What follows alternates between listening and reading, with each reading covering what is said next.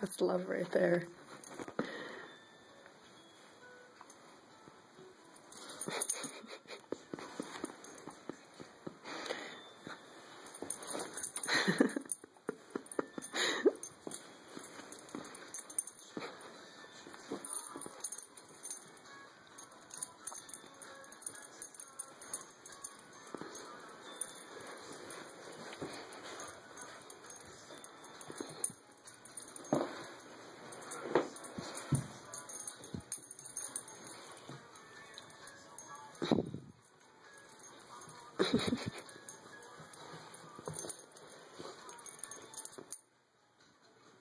Why did you take the stuffing out?